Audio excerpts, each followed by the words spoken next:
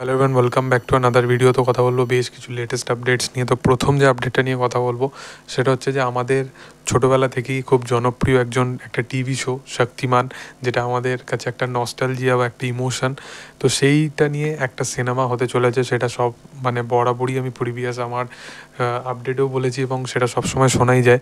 তো এই ছবিতে রণবীর সিংকে অ্যাজ এ ফাইনালাইজড করা হচ্ছিল এবং ঋত্বিক রোশনের নামও অনেকবার উঠে এসছে। কিন্তু ফাইনালি হয়তো সোনি পিকচার্সের তরফ থেকে এই ছবিটা আনা হচ্ছে এবং এই ছবিতে রণবীর সিংকেই আমরা শক্তিমান হিসাবে দেখতে পারি।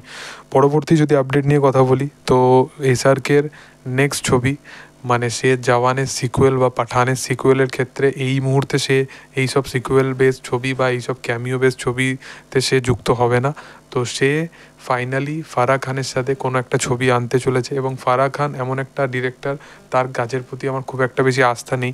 কারণ সে যে টাইমে সিনেমা বানাতো সেগুলো একটু ওভার দ্য টপ সিনেমা হতো। সেগুলো এখনকার অডিয়েন্স কীভাবে নেবে সেটাই হচ্ছে ব্যাপার। কিন্তু ফারাক খান এবং শাহরুখ খান যখনই সিনেমা এনেছে সিনেমাগুলো কিন্তু একদমই খারাপ বলা চলে না। হ্যাপি নিউ ইয়ারটাকে যদি বাদ দিই, কারণ মেহুনা একটা ভালো সিনেমা এবং শাহরুখের ভালো সিনেমার মধ্যে এটা পড়ে। এবং তার সাথে সাথে ওম শান্তি ওম তো অবশ্যই আমাদের কাছে ইমোশন তার গান সিনেমার কনসেপ্ট সিনেমার কন্টেন্ট প্রত্যেকটা জিনিসই খুব ভালো। এবং তার সাথে সাথে সাউথের একজন বড় পরিচালক, আমার খুব পছন্দের একজন পরিচালক, লোকেশ কানাকরাজ সেও শাহরুখকে একটা ন্যারেশন শুনিয়েছে তার তরফ থেকে। এবং এই ছবিটাতে, ছবিটার মানে একটা অ্যাকশান বেস ছবি হতে চলেছে, এটা লোকি ইউনিভার্সের পার্ট কিনে জানি না, কিন্তু এই ছবির নাম হতে চলেছে প্যান্থার তো দেখার যে শাহরুখ খানের নেক্সট কী হয়, কারণ রিসেন্ট টাইমে সঞ্জয় লীলা বানসালির সাথেও তার কথা শোনা যাচ্ছিল যে, সালমান খান যে ছবিটাকে রিজেক্ট করেছিল ইনসা আল্লাহ বলে, যেখানে সালমান খান এবং আলিয়া ভাট প্লে করতো, তো সেই ছবিটা সেলফ হয়ে যায়।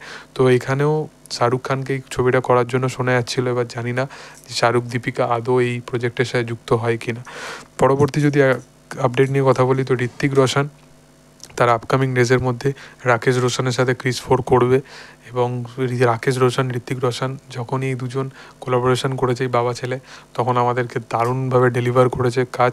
তো রাকেশ রোশন ঋত্বিক রোশনকে অ্যাজ এ অ্যান্টি হিরো হিসাবে প্রেজেন্ট করতে চায়, যে ক্যারেক্টারটা একটা গ্রে ক্যারেক্টার হবে এবং একটা ভিলেনের ক্যারেক্টারে ঋত্বিক রোশনকে আমরা দেখতে বিশালভাবে এক্সাইটেড হব। পরবর্তী যদি আপডেট নিয়ে কথা বলি, তো মুকেশ ছাবড়া, যিনি একজন বড় কাস্টিং ডিরেক্টর বলিউডের, সে জানিয়েছে যে দিল বেচারা এই ছবিটা, যেটা সুশান্ত সিং রাজপুতের ছবি ছিল, এই ছবিটার সিকুয়েল নিয়ে সে ভাবনা চিন্তা করছে, তো সিকুয়েল এই ছবিটার খুব তাড়াতাড়ি আমরা দেখতে পারি। পরবর্তী যদি আপডেট নিয়ে কথা বলি, তো দেবারা ছবিটা, যে ছবিটা এখনও রিলিজ হতে এখনও অনেক দিন বাকি, তো সেই ছবিটা ফাইনালি নেটফ্লিক্সে তার ওটিটি রাইটস বিক্রি করেছে দেড়শো কোটি টাকায়। তো একটা ছবি এতদিন এখনও বাকি রিলিজ হওয়ার এত বাকি, তার আগেই সে তার ওটিটি রাইটস বিক্রি করছে দেড়শো কোটি টাকা, তো এটা একটা মানে সিনেমাটার হিউজ একটা ব্যাপার।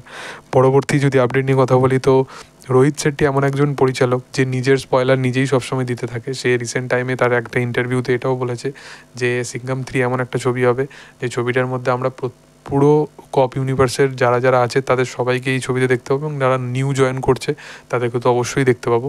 এবং তার সাথে সাথে সে এটাও জানিয়েছে যে গোলমাল ফাইভ সে ছবির সাথে সে খুব তাড়াতাড়ি যুক্ত হচ্ছে এবং এই ছবিটা নেক্সট দু বছরের মধ্যে গোলমাল ফাইভ আমরা দেখতে পাবো। পরবর্তী যদি আপডেট নিয়ে কথা বলি, তো গেম চেঞ্জার বলে যে ছবিটা, যেটা রামচরণ এবং কিয়ারা আদবানির ছবি, এই ছবিটা আমরা দশেরার টাইমে দেখতে পারি। তো দেখার যে ছবিটা কেমন হয়, কারণ এই ছবিটার যে সাউন্ড ডিজাইনিং বা মিউজিক ডিরেকশন এই ছবিটা প্রায় একশো কোটি টাকার বাজেট একশো কোটি টাকার বাজেট তো দেখার যে কেমন হয়। পরবর্তী যদি আপডেট নিয়ে কথা বলি, তো মেন্টাল ছবিটা, এই ছবিটা সেন্সার বোর্ডের তরফ থেকে জানানো হয়েছে যে এই নাম নিয়ে কিছু একটা ইস্যু আছে, কারণ এর আগেও মেন্টাল নিয়ে অনেক ছবি এরকম নাম নিয়ে ইস্যুর কারণে সেটা পরবর্তীকালে চেঞ্জ করা হয়। তো এই ছবিটার নাম করা হয়েছে সেন্টিমেন্টাল তো দেখার যে কেমন হয়, আগামীকাল এই ছবিটা রিলিজ হচ্ছে। পরবর্তী যদি আপডেট নিয়ে কথা বলি, তো বড়ে মিয়া ছোটে মিয়া যে টিজার আসতে চলেছে এই ছবির টিজার ফাইটারের প্রিন্টের সাথে অ্যাটাচ থাকবে তো দেখার যে কেমন হয় টিজারটা কারণ বাইশ তারিখে এই ছবির টিজার আসতে চলেছে পরবর্তী যদি আপডেট নিয়ে কথা বলি তো বিজেন্দ্র প্রসাদ তাল নতুন একটা স্ক্রিপ্ট রেডি করেছে এবং এই স্ক্রিপ্টের ওপর কাজ করবে কবির খান এবং এখানে অ্যাজ এ হিরো হিসাবে আমরা টাইগার শ্রফকে দেখতে পাবো এটা শুনে আমি খুব নিরাশা হচ্ছে as a Salman Khan fan হয়ে আমি ভেবেছিলাম বজরঙ্গি ভাইজান পার্ট টু যেটার ন্যারেশন কমপ্লিট হয়ে গেছে যেটা স্ক্রিপ্ট কাজ কাজ কমপ্লিট হয়ে গেছে তো আমি ভেবেছিলাম যে হয়তো কবির খান, বজরঙ্গি ভাইজান সিকুয়েল বানাবে খুব তাড়াতাড়ি। যাই হোক, পরবর্তী যদি আপডেট নিয়ে কথা বলি, তো খাদানের রেকি শ্যুট হয়ে গেছে। মানে প্রথম যে রেকি শ্যুট সেটা হয়ে গেছে, সেটা থেকে বোঝেই গেছে যে খাদান ছবিটা খুব তাড়াতাড়ি মানে দুর্গাপুজোর আগেই হয়তো চলে আসবে। এবং সব থেকে যে কোল মাফিয়া যে জায়গা আছে, কোল যেখানে মানে কয়লার খনি আছে, ইন্ডিয়ার সব থেকে বড় সেইখানে খাদানে শ্যুট হচ্ছে, তো দেখার যে কেমন হয়। পরবর্তী যদি আপডেট নিয়ে কথা বলি, তো সাকিব খানের আপকামিং ছবি যেটা পরিচালনা করবে রাইয়ান রাফি, তো সেই ছবিটা, যেটার নাম হচ্ছে তুফান, সেখানে দুটো অ্যাক্ট্রেস থাকতে চলেছে এবং একজন অ্যাক্ট্রেস যিনি ভারত থেকে থাকবে, সেটা শোনা যাচ্ছে যে সেটা কোয়েল মল্লিক হতে পারে।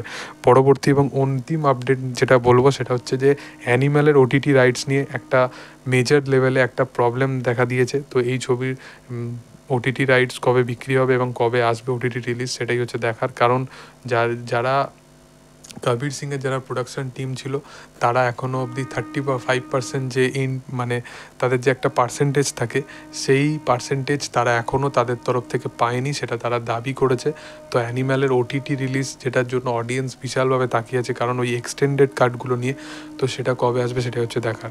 এগুলোই ছিল আমার বক্তব্য, তোমাদের কি বক্তব্য অবশ্যই কমেন্ট সেকশনে জানাতে পারো। ভিডিও ভালো লাগলে অবশ্যই লাইক শেয়ার সাবস্ক্রাইব করে দিও। Thank you all by